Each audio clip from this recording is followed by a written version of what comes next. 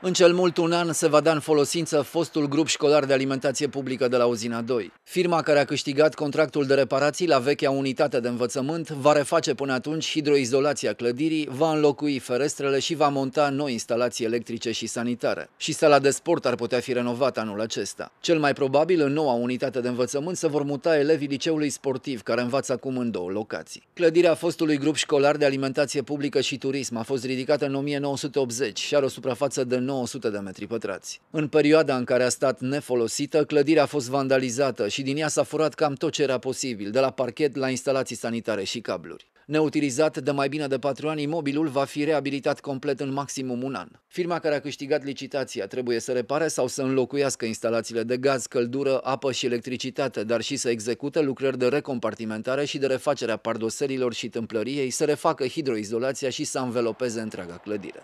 La finele anului 2015 s-a semnat uh, contractul de executare a lucrărilor capitale uh, la liceul, fostul liceu de alimentație publică din uh, zona Uzina 2, respectiv pe strada Zizinului. Am inițiat primii pași în vederea lucrărilor efective de, de construire. În acest sens, Uh, se vor reface pe de o parte fațadele, acoperișul, lucrării de structură, dar nu foarte mari și se vor face amenajarea sălilor și spațiilor uh, comune.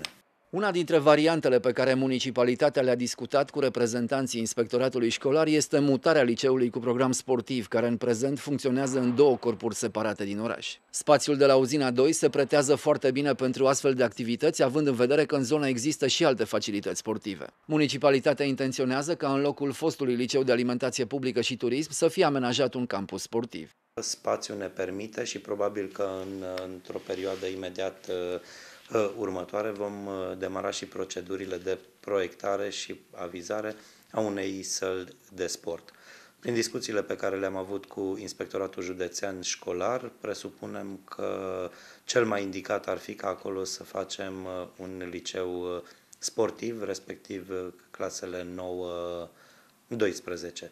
Contractul pentru reabilitarea fostului liceu de alimentație publică și turism a fost adjudecat pentru suma de 1,77 de milioane de lei cu TVA față de prețul estimat de 2,59 de milioane de lei.